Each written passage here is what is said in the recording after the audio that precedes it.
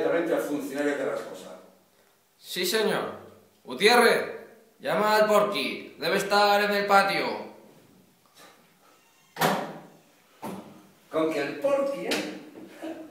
Vamos, y a usted que le hace gracia. Vamos, para troncharse de risa. Así como quiere mantener el orden si es usted la chufa del patio.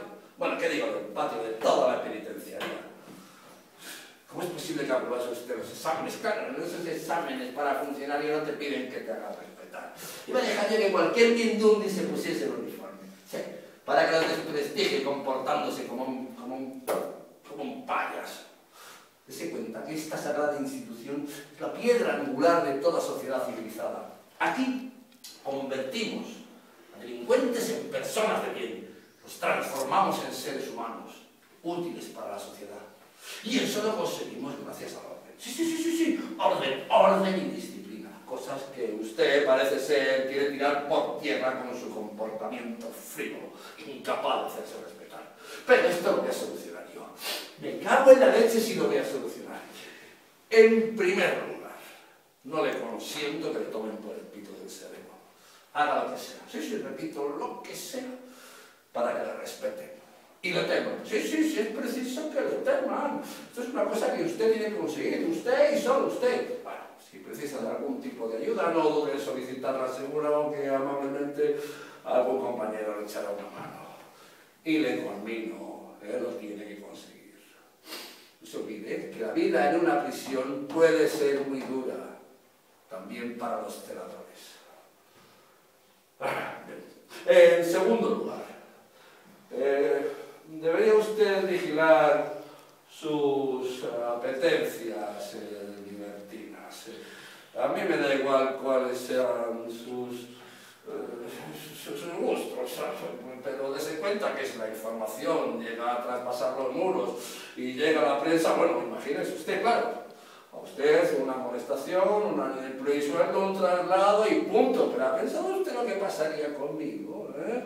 ¿Eh? Mi cargo es político, a mí me ha nombrado directamente el señor ministro.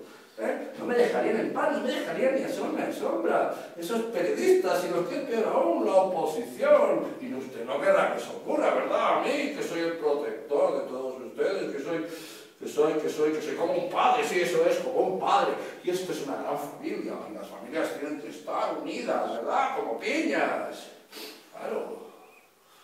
Y por último, esto es una cosa que nos puede beneficiar mutuamente, vamos a ver si el informe de la sala de comunicaciones ha sido muy satisfactorio.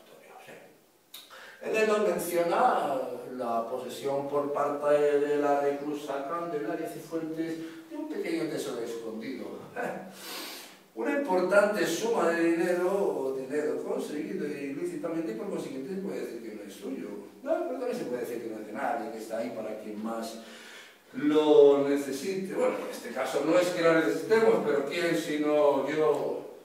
Bueno, pero ¿quién sino nosotros? Todos merecemos más, puesto que somos nosotros y solo nosotros quien además de hacernos cargo de ella, de su salud, su bienestar, nos hacemos cargo de su integración en la sociedad, en la familia. Si quiere algún tipo de sugerencia, eh, podría hablar con, con su amiguita.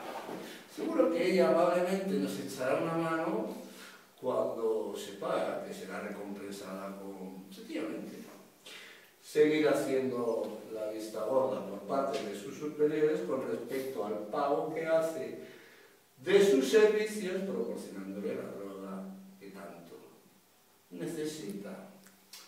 Eh, ¿Guerra? Puede retirarse. Ren. Sí. El funcionario... El funcionario Carrascosa está aquí. Ajá, vale. Que pase.